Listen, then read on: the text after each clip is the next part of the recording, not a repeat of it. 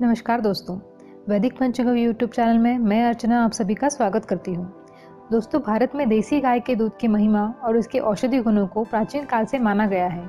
गाय न सिर्फ़ अपने दूध से, बल्कि अपने गौमूत्र, गोबर, घी और छाछ द्वारा भी हमारा पोषण करती है और कई रोगों का इलाज भी करती है। इसीलिए भारतीय नस्ल की गाय को कामधेनु भी कहा जाता है।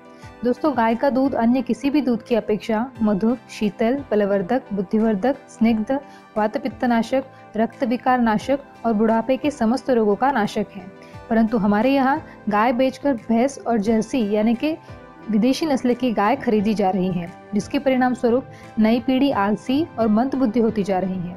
दोस्तों, गाय का दूध मानव के लिए एक संपूर्ण भोजन है, क्योंकि इसमें proteins vitamin calcium, carbohydrates fat, minerals, enzymes, iron आदि सभी गुण होते हैं।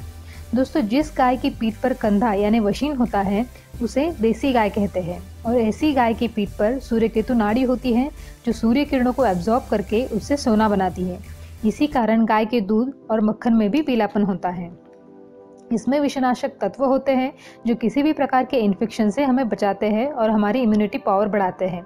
दोस्तों, दूध में भी सबसे ज़्यादा लाभदायक लाभदायक दूध धारोष्ण दूध होता है, जो डायरेक्टली गाय के स्तन से निकाल के सेवन किया जाता है या फिर गाय के स्तन से निकालने के बाद 10 मिनट के भीतर ही पिया जाता है। ऐसा दूध यानी अमृत समान होता है, जिसकी कीमत हम करोड़ों में भी नहीं कर सकते।